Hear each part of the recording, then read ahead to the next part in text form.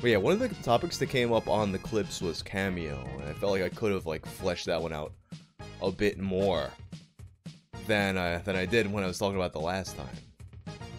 We see Cameo. I don't know if you guys know Cameo. It's basically the service where you have people sign up. You got all kinds of like celebrities, um, YouTubers, musicians, a lot of like reality TV show people. Like last night, I was looking at the Big Ed cameo.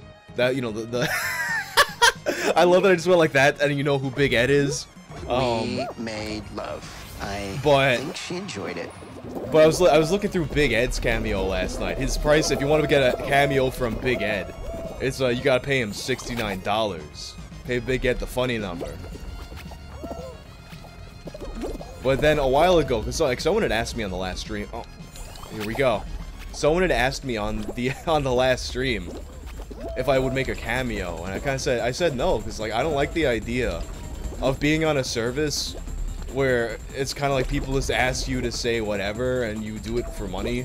Like, I would probably do it if I was hard up for cash, but it feels, to me, it feels like degrading, and I wouldn't do it. No hate against anyone who does do it, but I just, I don't like the idea of people, like, of people doing that with my stuff.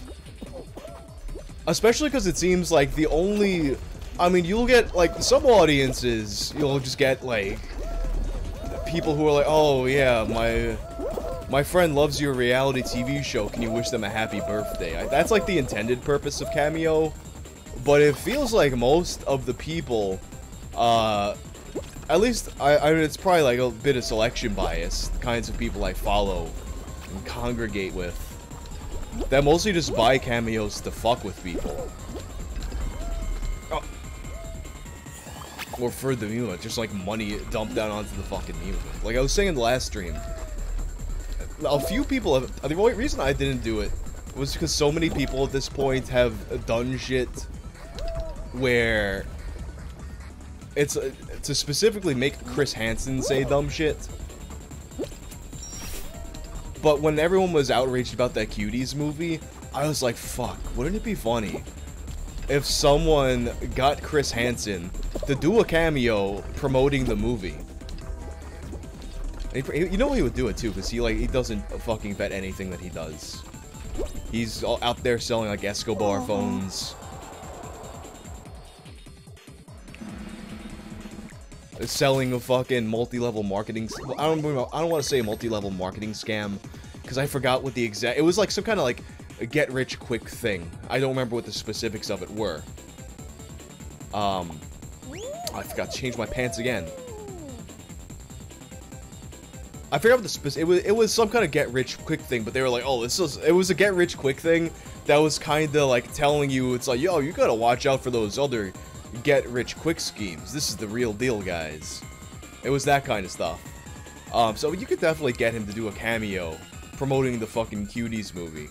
100%. Um, but then, like, the, the one...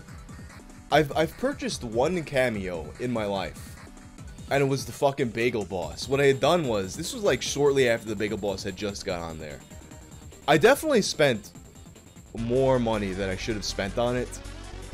No, let me not say that, because, like, it was, it was a lot of money to get a guy to say some words. But I was satisfied with what I got. It was, uh... It, it was it was basically the instructions I gave him. If you, it, there's not enough words to fill, fill in like a full copy pasta, but what I had put it, put in there, I basically described to him the trumpet guy situation and got the Bagel Boss to reenact that. Hey Douglas, how are you? Chris the Bagel Boss, this is for you. You're a piece of shit. You suck. You're nothing. I'm the best.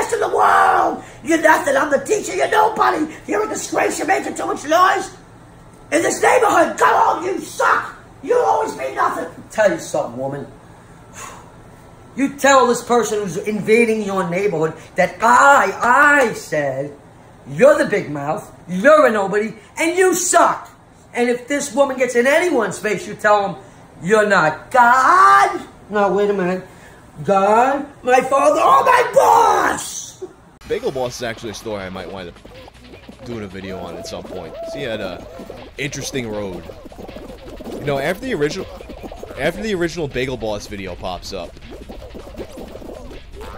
he he actually seems to like hold on to his attention for a little bit, building up accounts with like kind of like finding like a good social media voice for what he was all about. But then he had some like kind of weird beef with his management. They took his account from him or some shit.